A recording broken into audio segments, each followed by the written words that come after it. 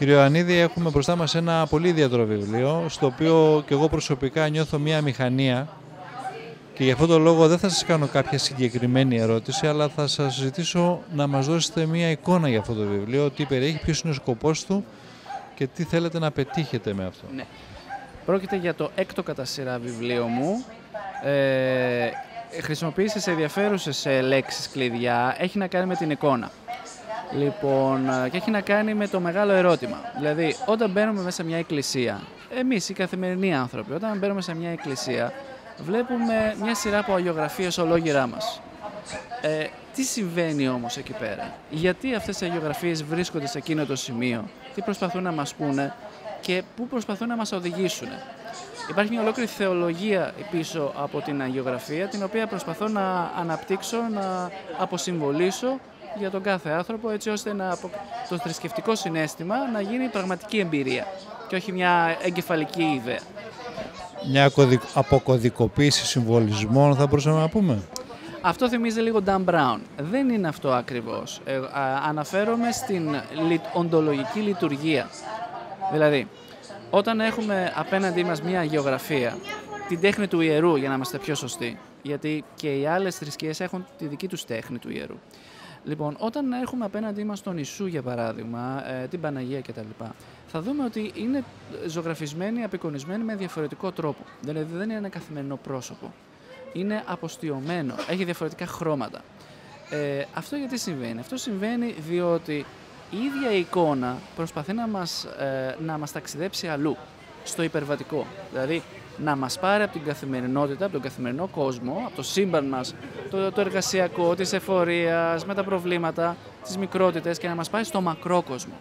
Και αυτό το πετυχαίνει μέσα από την αφαίρεση.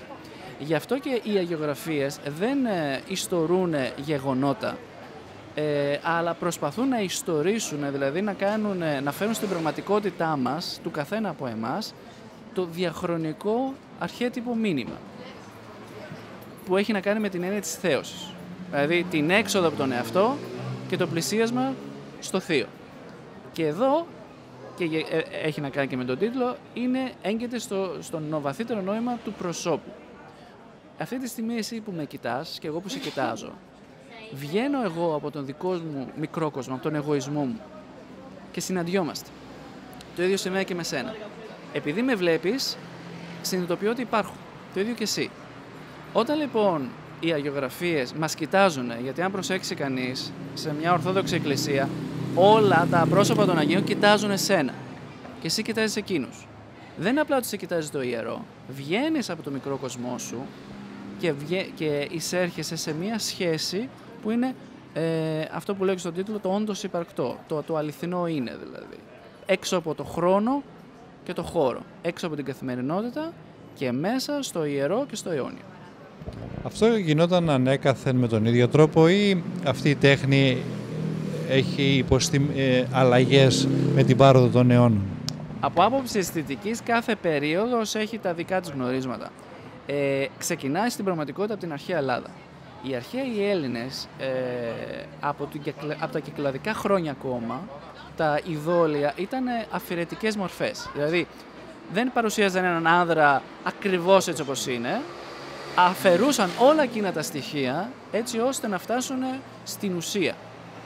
Και η ουσία, ε, αυτό είναι η τέχνη του ιερού. Προσπαθεί να απεικονίσει την ουσία του πράγματος και όχι τα αυθαρτά γνωρίσματα. Αυτό αλλάζει ε, κυρίως κατά τους ρωμαϊκούς χρόνους, όπου κυριαρχεί ο νατουραλισμός. Και γι' αυτό η ρωμαιοκαθολική τέχνη, η θρησκευτική τέχνη, είναι νατουραλιστική.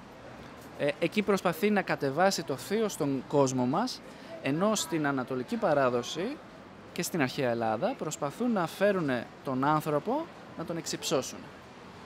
Οπότε, ναι, υπάρχουν πολλά διαφορετικά γνωρίσματα και στην Βυζαντινή ε, αγιογραφία υπάρχουν δύο-τρεις βασικές σχολές, αλλά η λειτουργία από τους πρωτοχριστιανικούς χρόνους περίπου και μετά είναι λίγο πολύ ίδια.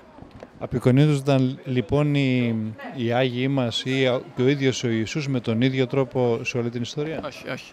Ε, στα πρώτα χρόνια οι πρώτοι χριστιανοί ε, μιμήθηκαν την τέχνη του ιερού έτσι όπως την είχαν οι Ρωμαίοι. Και όπως ανα, αναπτύσσω και στο βιβλίο με όλες τις λεπτομέρειες, Οι πρώτες απεικονίσεις του Ιησού είναι σαν Ρωμαίος φιλόσοφος. Δίχως γένεια, ε, κοντό μαλλί ή και ξυρισμένο με τη χλαμίδα του φιλοσόφου. Μάλιστα κρατώντας και μαγικό ραβδί. Μια πολύ σημαντική λεπτομέρεια που μέχρι και σήμερα στο Χάρι Πότερ τη βλέπουμε. Ε, ξαφνικά όμως, πραγματικά ξαφνικά, εμφανίζεται στις κατακόμβες της Ρώμης ο Ιησούς με γένεια και μακριά μαλλιά με ένα πρόσωπο που θυμίζει πολύ κοντά σε αυτό που έχουμε και στην εκκλησία της γειτονιάς. Το γιατί συμβαίνει αυτό το, το αναπτύσσω μέσα στο βιβλίο μου. Υπάρχει ένας συγκεκριμένος ιστορικός λόγος. Είναι, λοιπόν, μιλάμε για μία μελέτη, Ναι. έτσι.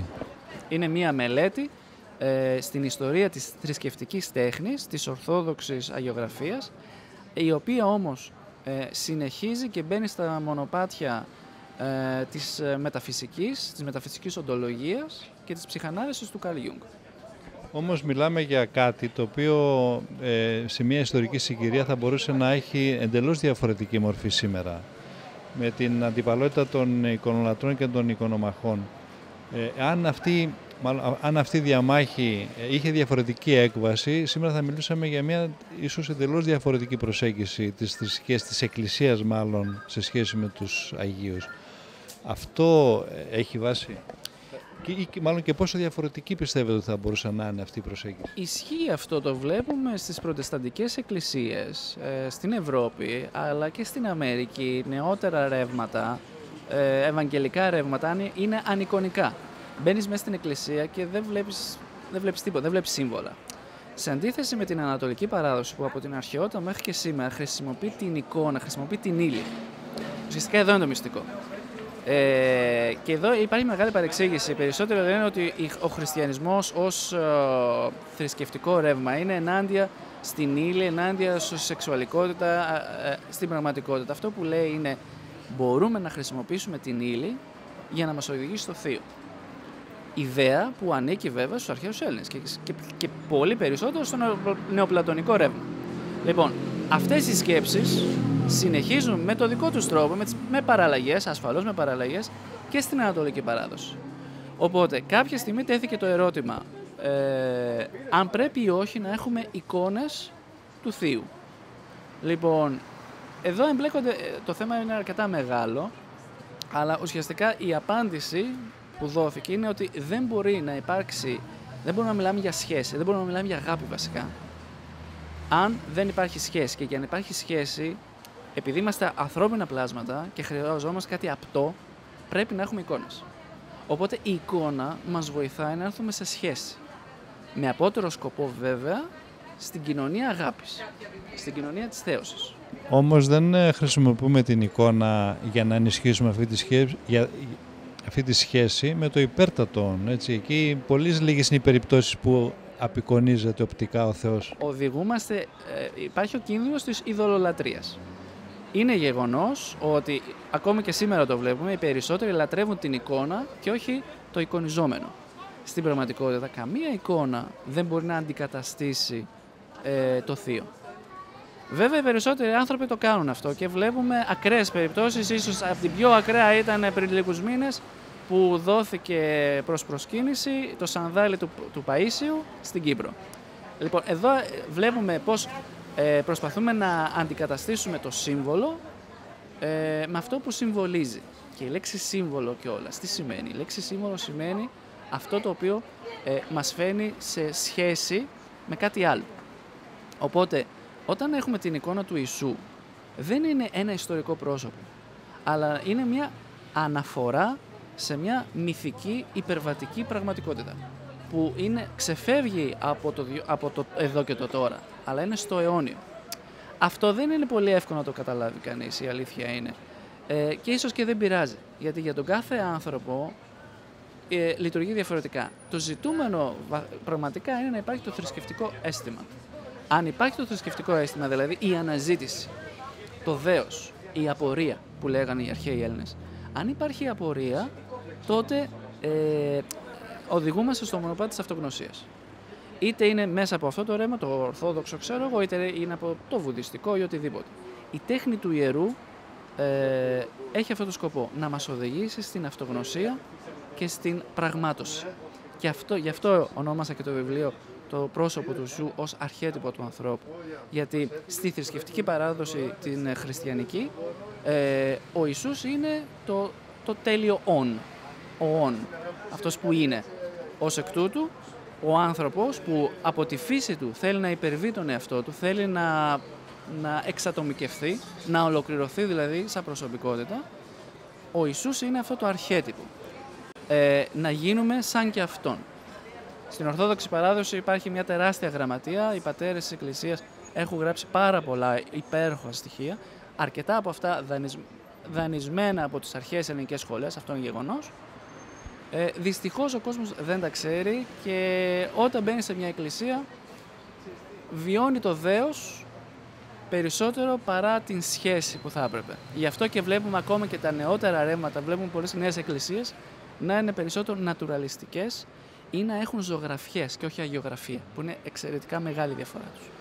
Ε, έχω ακούσει για αυτή την τάση, αλλά δεν είχα ποτέ προσωπική εμπειρία. Θα επιμείνω λίγο με μια διευκρινιστική ερώτηση. Ναι. Προηγουμένως αναφέρθηκα στην απουσία της εικονοποίησης του ίδιου του Θεού. Ναι. Δηλαδή συναντάμε συνήθως ε, σε οπτικά το Χριστό και κάτω, αν μου επιτρέπετε αυτή η υπερβολή να πω, με, με την έννοια της ιεραρχίας, Θεός, Χριστός ναι. και ναι, ναι, τα λοιπά.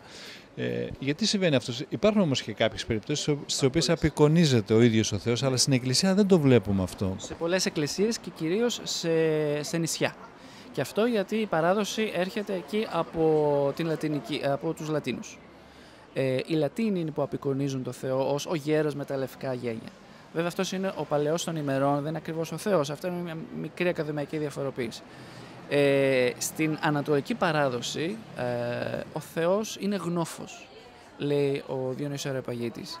Δηλαδή ε, μυστήριο σκοτεινό και άγνωστο. Ο Θεός δεν έχει πρόσωπο κατά μία έννοια, γι' αυτό και δεν μπορεί να εικονιστεί, δηλαδή να περιοριστεί σε μια ανθρώπινη μορφή.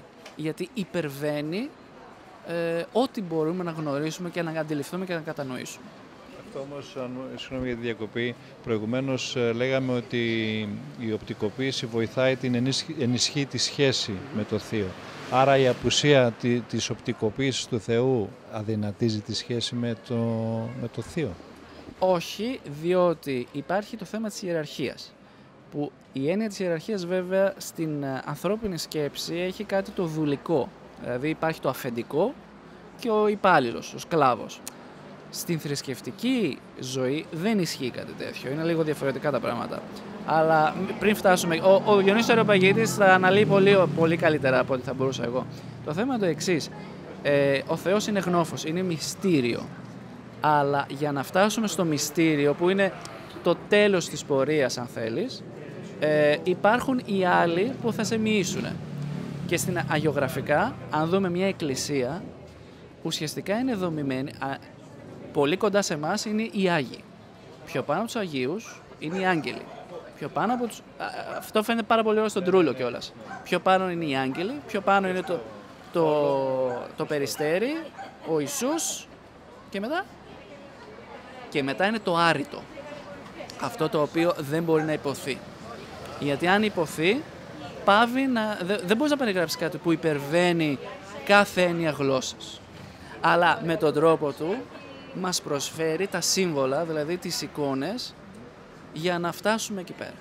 Στο όντως υπαρκτό. Ελπίζω να μην σας κουράζω. Να, θέλω, θέλω να κάνω μια ακόμη ερώτηση, πολύ πρακτική όμως. Έχουμε αυτή τη στιγμή την Ορθόδοξη Εκκλησία η οποία ε, χρησιμοποιεί την οπτικοποίηση με τις αγιογραφίες και έχουμε και εκκλησίες, όπως είπατε προηγουμένως, περιθωριακές ίσως, ίσως ε, ε, μειονοτικού τύπου σε σχέση με, τα, με τις μεγάλες θρησκείες, οι οποίες είναι, χρησιμοποιήσατε μια λέξη, δεν θυμάμαι, ανικονική. ναι.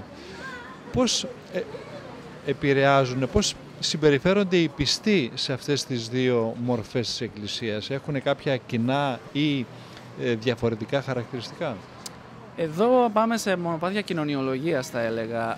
δεν είναι τυχαίο ότι συνήθως ε, η ανικονική λατρεία αναπτύσσει την αγάπη προς την ύλη. Δηλαδή, δεν είναι τυχαίο, οι Αμερικάνοι είναι οι ληστές. Ε, οπότε αντικαθιστούν την απεικόνηση του ιερού με το να ιεροποιήσουν εντός αγωγικά την καθημερινότητά τους. Ε, δεν είναι τυχαίο δηλαδή οι, οι Γερμανοί, οι, ε, οι βόρειες, τα βόρεια φύλλα ε, έχουν κατακτήσεις τις επιχειρήσεις, έχουν εξαιρετική τεχνογνωσία, ασχολούνται πάρα πολύ με την ύλη. Οπότε αυτοί συνήθως, συνήθως οι παραδόσεις ε, που έχουν πρόβλημα με την ύλη, δεν ξέρουν πώς να έρθουν σε σχέση με την ύλη, τη δαιμονοποιούν. Δεν, αυτό φαίνεται πολύ ωραία στο κινηματογράφο για παράδειγμα. Που όλα αυτά τα θρίλερ που κυκλοφορούν εδώ και αρκετά χρόνια με εξορκισμούς κτλ. παρουσιάζουν το θείο όχι με την ανατολική σκέψη. Στην ανατολική σκέψη ο Θεός είναι αγάπη, δηλαδή σχέση. Στη δυτική σκέψη, ναι ακριβώς, είναι, τιμω, είναι κριτής και τιμωρός. Η ύλη υπάρχει σαν πειρασμός και είναι ένα βάσανο το να ζεις. Ενώ οι Ανατολίτες λένε, οι Ανατολικοί λαοί λένε η ζωή είναι, είναι χαρά. Γιατί κάθε, δεν υπάρχει στιγμή ε, στη ζωή μας που να μην ανήκει στο Θεό. Αυτό φαίνεται πάρα πολύ ωραία στους Άραβες και όλας που σχεδόν σε κάθε τους πρόταση λένε αν το θέλει ο Θεός θα γίνει. Αυτό δεν, δεν δείχνει ένα λαό που βρίσκεται κάτω από ένα αφέντη, αλλά βρίσκεται σε μια σχέση αγάπης με κάποιον που νιώθω το φροντίζει.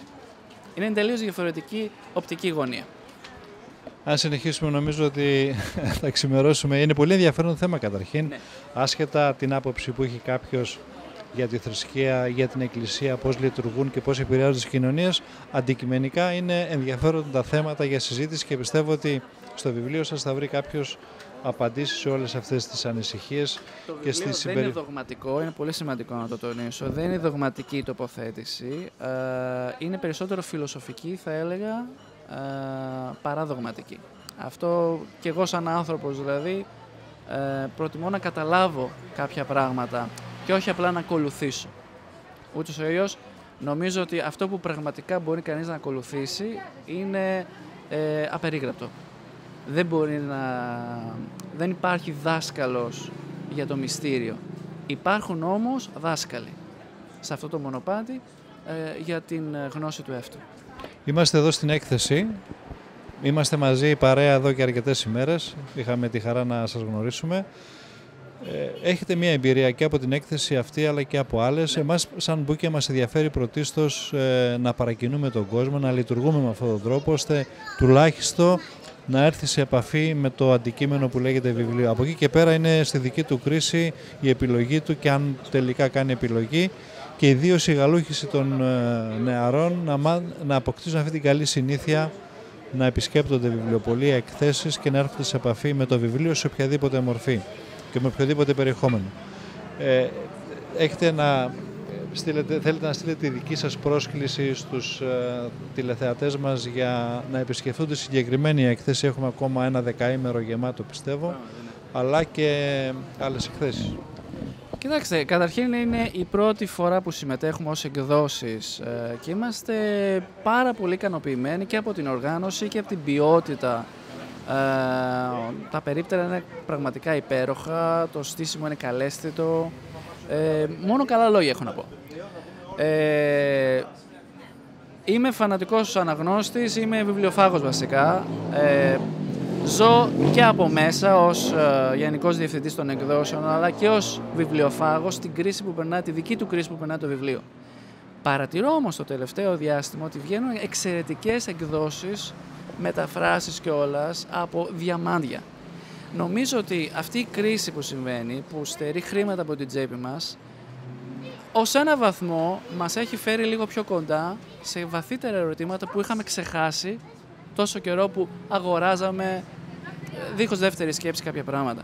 Σε ερωτήματα που έχουν να κάνουν ποιοι είμαστε, τι πραγματικά θέλουμε. Γιατί... τις προτεραιότητες. Ακριβώς.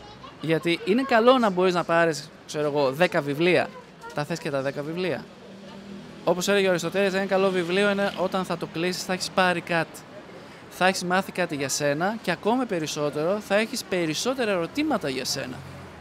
Ε, αυτό δεν το θέλουμε τόσο στην καθημερινότητά μας. Η αλήθεια είναι ότι είναι, ζούμε μια κουραστική ζωή, πολλές υποχρεώσεις, πολλές ευθύνες, ε, πολύ θόρυβος.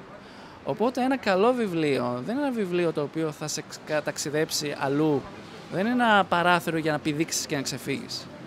Είναι ένας καθρέφτης όπου θα δεις τον εαυτό σου θα προβληματιστείς ουσιαστικά και όταν θα κλείσει το βιβλίο θα μπορείς να βλέπεις τα πράγματα με διαφορετικά μάτια.